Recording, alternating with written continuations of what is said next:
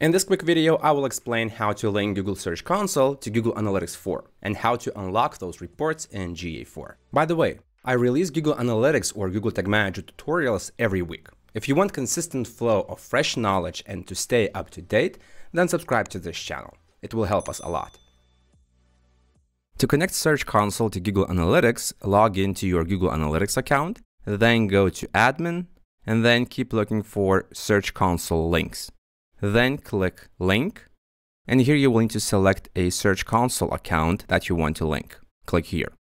Here you will need to select a Search Console property that you want to connect. Keep in mind that one Search Console property can be linked with one Google Analytics data stream. For example, here the first property is already linked, so I cannot link it to this property. Therefore, I will need to select another one. Once you select the Search Console property, click Confirm then click Next, then select web stream that you want to connect, then click Next again and click Submit. If everything was done properly, then you will see that the link was created. Then you will need to wait for a while and eventually some historic data from Search Console will become visible in Google Analytics 4 property as well. What you need to keep in mind is that Search Console keeps the data of the last 16 months, therefore this is the maximum date range that you will also see in Google Analytics 4.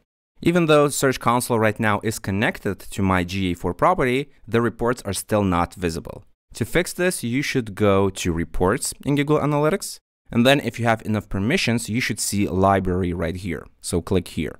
And then you should see the Search Console collection somewhere right here. If you don't see it, then it means that you might need to wait more, or you can click Create New Collection, and then select Search Console right here. This will pre-fill the collection with two reports. One is for search queries and the other one is for Google organic search traffic. Now let's click Save, then go back, and the collection will be visible right here, but it's still not published. To publish it, click three dots right here and then Publish. Then the Search Console section will appear on the left sidebar. If you don't see it, then refresh the page and it should work.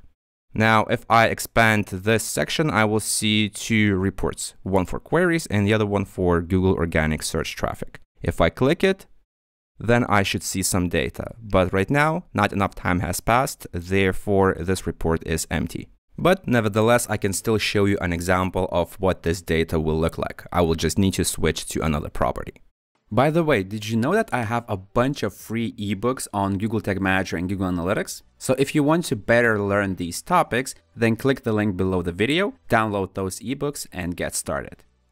Alright, here I am in a different property that has been collecting Search Console data for a while. And in the queries report, we can see the top search keywords. And here you could see a lot more of them compared to the interface of Search Console. And for each keyword, we can also see how many times my website appeared for that particular keyword in the search, then how many times my links in the search were clicked, the click-through rate, and also the average position in Google search. In this report, you can also select several other dimensions, but when you think about Search Console data, keep in mind that it is separated from the rest of the GA4 data. So if you decided to add some additional secondary dimension, none of them would work because they are all grayed out. These dimensions, for example, they are native Google Analytics 4 dimensions, while this report shows data only coming from Search Console. The only dimensions that you can add to this report as a secondary dimension, for example, would be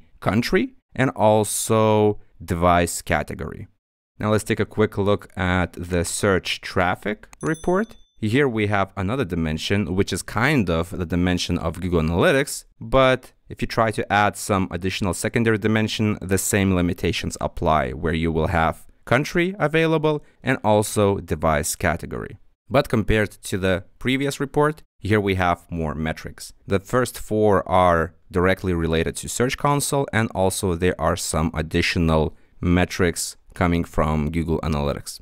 And one more thing related to reports is that after you connect Search Console and you have waited for a while, then two additional cards will be unlocked in the acquisition overview report. So if you go here At the bottom, you will see two additional cards. One is for the landing pages and the other one is for the keywords. And if you click this link or this link right here, you will be redirected to one of those two reports that we just added to this property.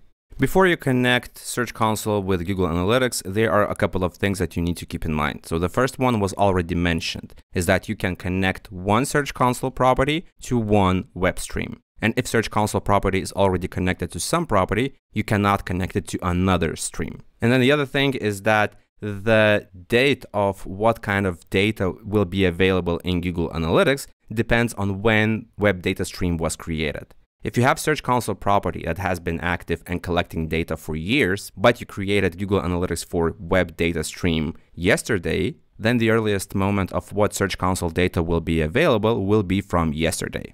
And that is how you can connect GA4 to Google Search Console. If you found this video useful, hit the like button. That will help me understand what videos do you like and what should I create in the future.